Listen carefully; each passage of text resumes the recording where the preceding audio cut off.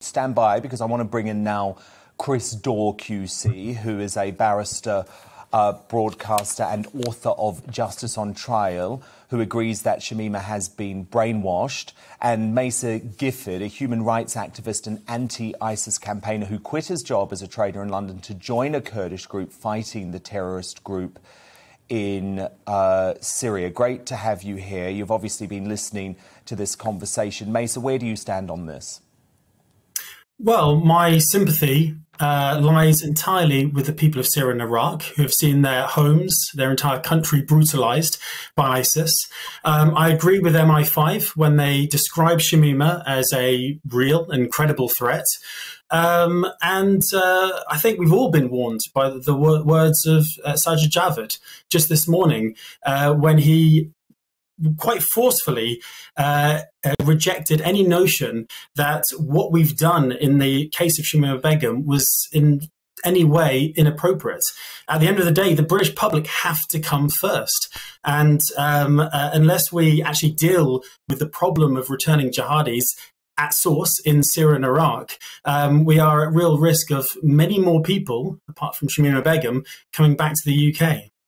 But Chris Daw, you say actually Macer's wrong. Shamima Begum is a victim, and we should be treating her like a victim. Why?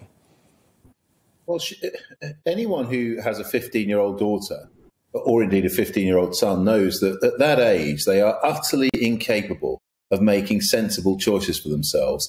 And when grooming gangs, which ISIS was a, a, prime candidate and a prime example of, of the most extraordinary forms of uh, manipulation and grooming of young people and young women in particular, when they get involved with children of that age, just as when drug dealers get involved with 15 year olds, or indeed sexual groomers get involved with 15 year olds, they do all sorts of things which are extraordinarily damaging to themselves. And the person who suffered the most in all of this is Shamima Begum. Begum, she's a young woman who's lost three babies who've died have we got no human sympathy or no human joined mercy? A terrorist group. She joined a terrorist organization. She knew that they were bombing this country. What did you do at 15? We At 15, we didn't join a death cult in the desert. so I'm sorry. Well, you may not have got groomed by, by people who are highly sophisticated and are intent on grooming young Western girls to come there to fart, to mother their children. You didn't get groomed by those people. You no doubt had a very stable and normal upbringing without the influence of gangs and groomers and psychotic murderers. But if my daughter, who's 14, got groomed by a load of terrorists, I would be out there trying to bring her home. I wouldn't be trying to just besmirch her as some sort of evil human being. She's not. She was a child. She was groomed, and she should come back to the country of her birth so that she can face She's justice. no longer a child. Like everybody else. Sorry, well, she's 22 years old. She's a 22 year old woman that's been there for five years. And if you go first, then I'll bring you back in, Tasnime. Macer, Macer, you step in and then I'll come to you. We're no longer talking. We're no longer talking about a young lady. We're talking about a woman that's been in Syria and Iraq for uh, more than five years now. Uh, she's uh, 22 years old. Uh, we don't know what kind of uh, military and psychological training this young lady has gone through. Um, as I said, we have to listen to the authorities on this one. We have to listen to the experts. MI5 have said she's a real and credible threat. Um, her appeal for the loss of her citizenship uh, has gone all the way to the Supreme Court. So the British government has got the best legal advice on this. They've all agreed it's entirely appropriate that she lose her citizenship. The security services think that she's a threat.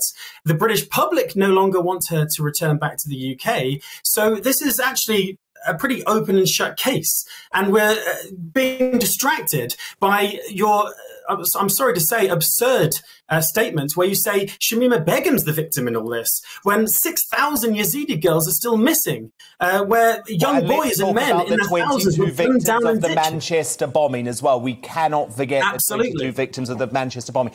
Uh, but look, Tasnime, I want to give you the final word. You're obviously Shamima Begum's family lawyer. What's your plan now? What are you going to do next? What are the family expecting to happen? And do they have hope?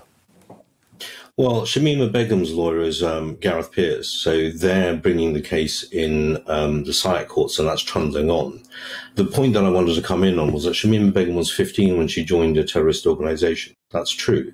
But Macer is an adult human being who joined uh, the YPG, which is a terrorist affiliate organization, according to Turkey and the United States, uh, which is affiliate to the PKK. I'm, I'm sorry, no, it's not.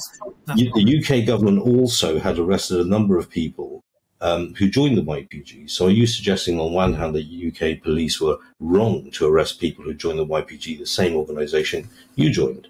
And you were an adult, and you conducted military operations in a sovereign country, which is Syria, against against the sovereign country's interest. What you conducted, Macer, in Syria was terrorism against Syria. All right. That's look, we're speaking about incorrect. we're speaking about Shamima Begum uh, tonight, but we will continue this debate. Thank you so much all for being here. That was Tasnime Akunjee, Shamima Begum's family lawyer, Chris Daw QC, the barrister and author of Justice on Trial, who says it's Shamima Begum who's the victim, and Macer Gifford, who fought the Islamic State in Syria alongside Kurdish forces.